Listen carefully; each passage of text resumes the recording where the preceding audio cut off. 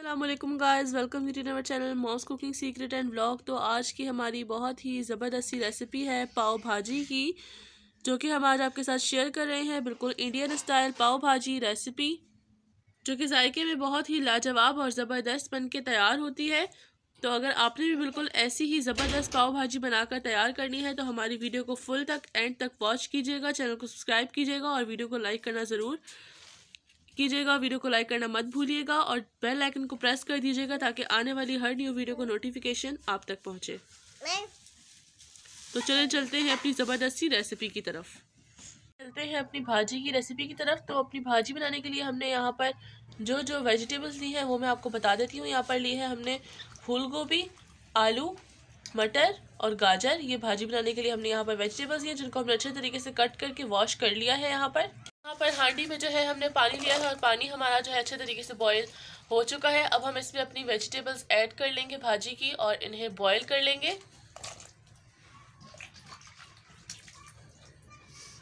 तो सारी वेजिटेबल्स जो है हमने इसमें ऑलमोस्ट जो है ऐड कर ली है और अब हम इनमें बॉईल होने देंगे। तो यहाँ पर वेजिटेबल्स हमने सारी ऐड कर ली है, उसके बाद हम इसमें नमक ऐड कर लेंगे। और साथ ही साथ हम इसमें हल्दी ऐड कर लेंगे। अब हल्दी और नमक डालकर हम इसे बॉईल होने के लिए छोड़ देंगे, जब तक कि सारी वेजिटेबल अच्छे तरीके से गल ना जाए। तो सब्ज़ियाँ जो है, आप देख सकते हैं कि हमारी यहाँ पर गल चुकी हैं, सारी सब्ज़ियाँ हमारी बॉईल हो गई हैं। अब हम हैंड मैशर के साथ जो है, इन्हें मैश कर लेंगे अच्छी तरह से। और इसका जो पानी है, वो हम नहीं निकालेंगे, बल्कि पानी के साथ ही जो है, इन सारी सब्जियों को बहुत अच्छे तरीके से जो है, हम मैश कर लेंगे हैंड मैशर की हेल्प से। जो है, घी हमारा गर्म हो चुका है। इसमें जो है, हम अदरक और लहसुन का पेस्ट शामिल करेंगे।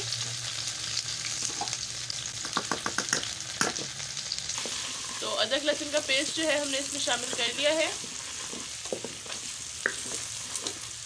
और इधर जो है, हमने प्याज और टमाटर का जो है, पेस्ट बनाया है बॉईल करके। तो अदरक, लहसुन यहाँ पे हो चुके हैं। इसके अंदर जो है, हम उसका पेस्ट शामिल कर लेंगे। टमाटर और प्याज का जो हमने बनाया है। वो हमने इसमें अब शामिल कर लिया है।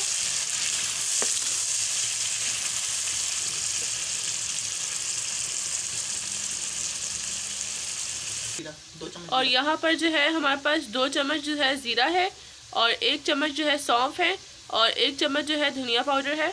तो वो अब हम इसमें शामिल कर तो वो हमने अब इसमें जो है यहाँ पर शामिल कर दिया है। अब हम चमचा चला लेंगे।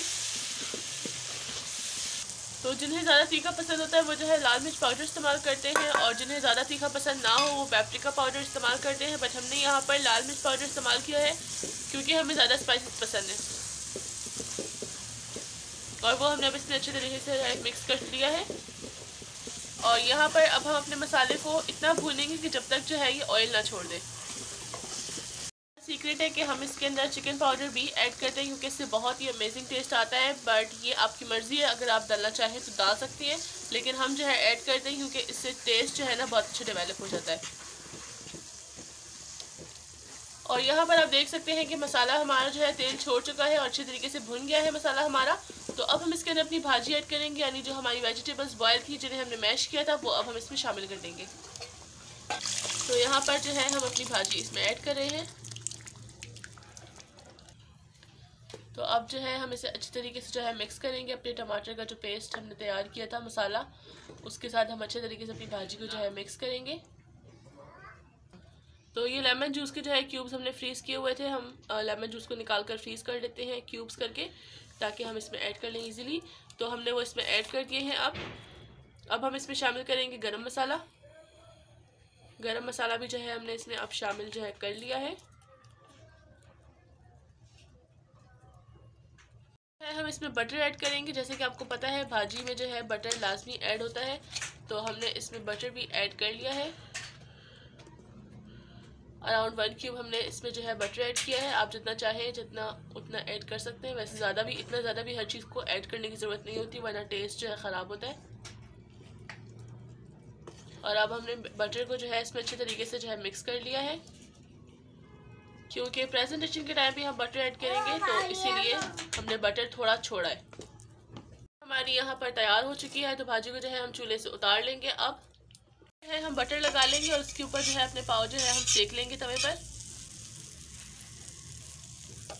तो पाव जो है हम इस तरह से तवे पे सेक लेंगे। तो दूसरे पाव के लिए हमने दोबारा मक्खन ऐड किया है और अब हम अच्छे तरीके से अपने पाव जो है मक्खन में सेक लेंगे। सकते हैं। हमारी ज़बरदस्ती पाव भाजी बनकर तैयार है और बहुत ही जो है लाजवाब बन के जो है ये तैयार हुई है। तो अगर आपको रेसिपी हमारी पसंद आई हो आज की तो वीडियो को लाइक करें चैनल को सब्सक्राइब करें। हमें दुआ में याद रखिएगा। अल्लाह हाफिज़।